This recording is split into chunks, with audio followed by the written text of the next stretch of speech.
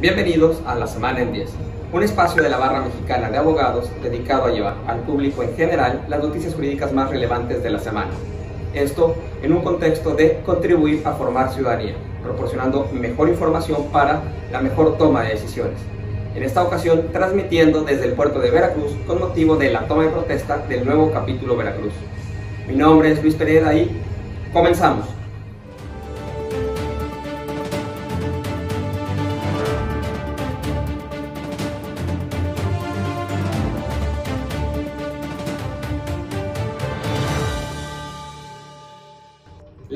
En Nicaragua empeora. El gobierno de Nicaragua, encabezado por Daniel Ortega, ha perdido todo respeto por las libertades ciudadanas.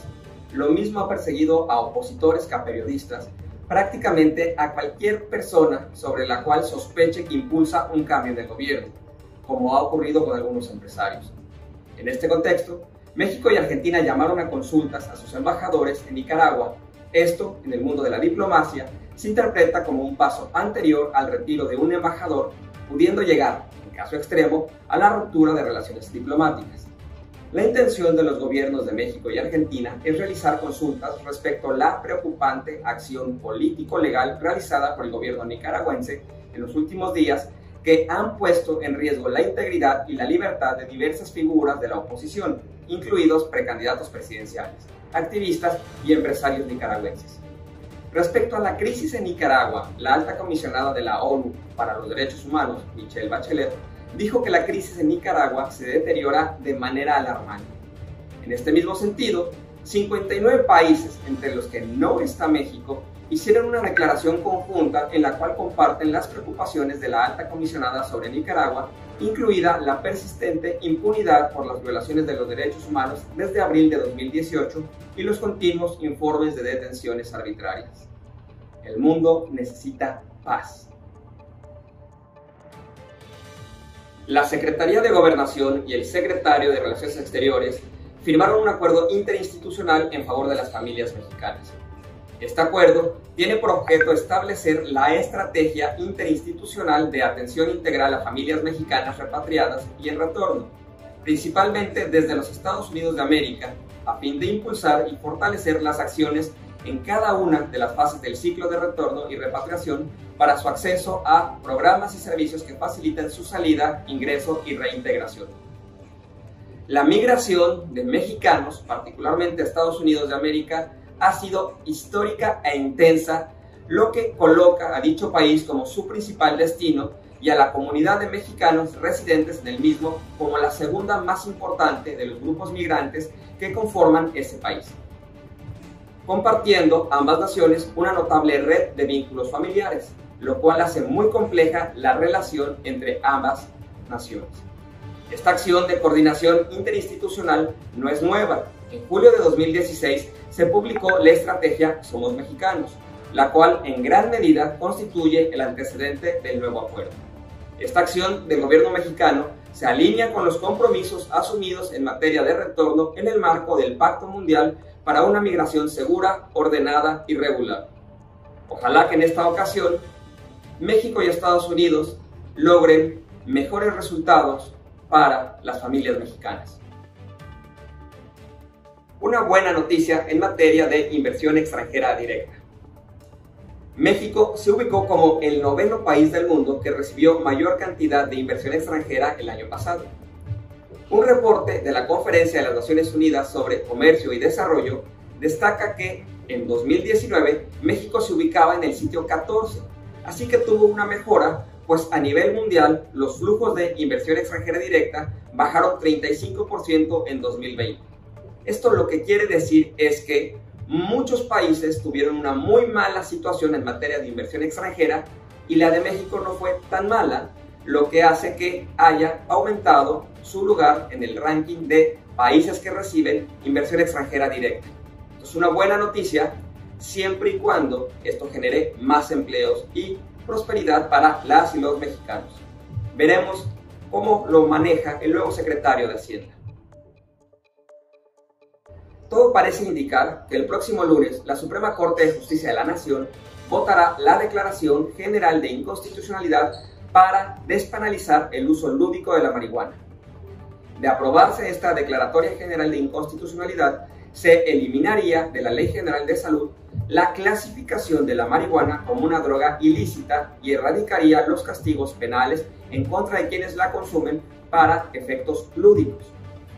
Para que el Pleno de Ministros pueda eliminar estos artículos de la Ley General de Salud, que ya sabemos que son inconstitucionales, pero hasta ahora solo han tenido efectos relativos, no efectos generales, es necesario que se alcance una mayoría calificada de por lo menos ocho ministros para poder lograrlo.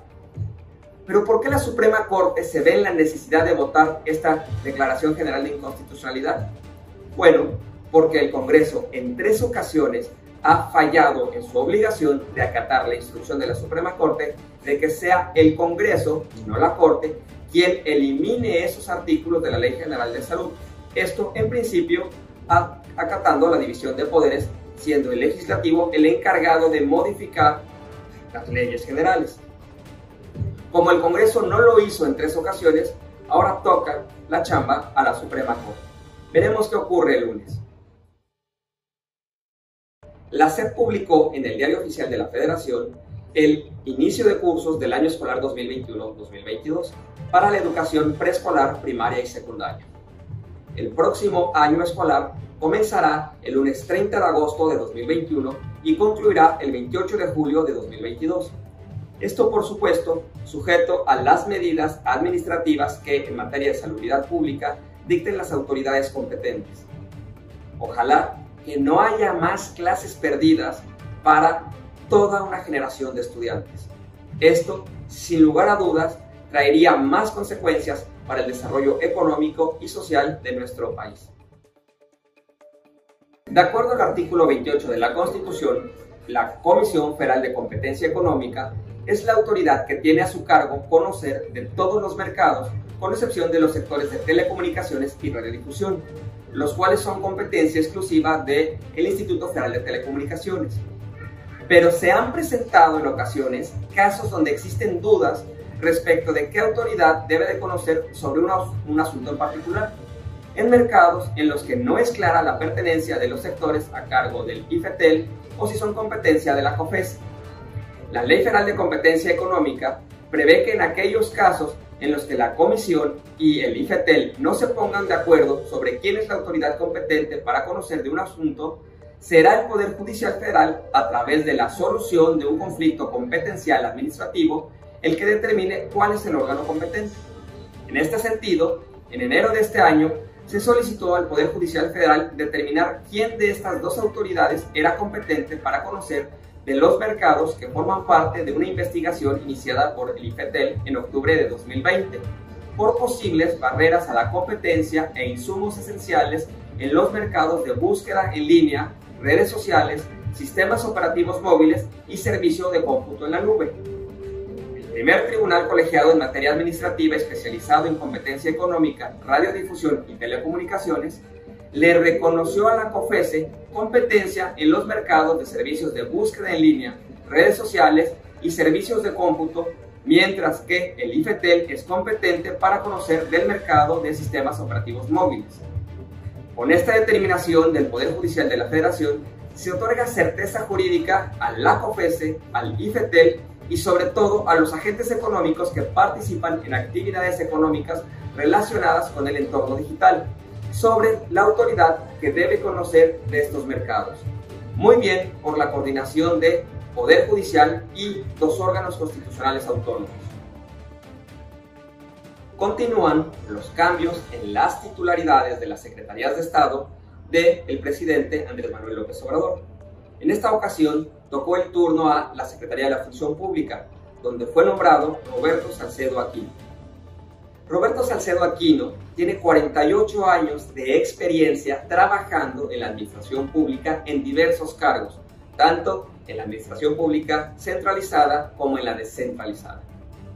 Sin lugar a dudas, el perfil del nuevo secretario es completamente diferente al de su antecesora y podemos esperar nuevos y mejores resultados en esta importante secretaría que permite el combate a la corrupción, pero también la implementación de controles internos que darían lugar a un mejor gobierno.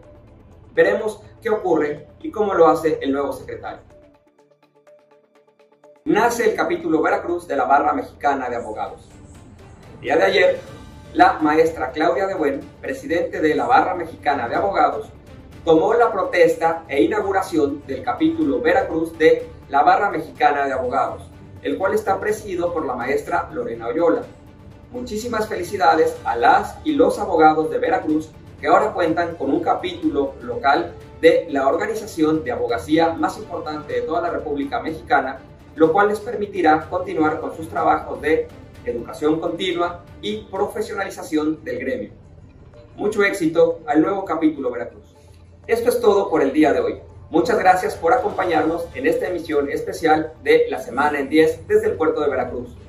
Mi nombre es Luis Pereda y los invito a que me hagan llegar sus comentarios y sugerencias a través de las distintas redes sociales en las que este contenido llega hasta sus pantallas. Muchísimas gracias y nos vemos la próxima semana.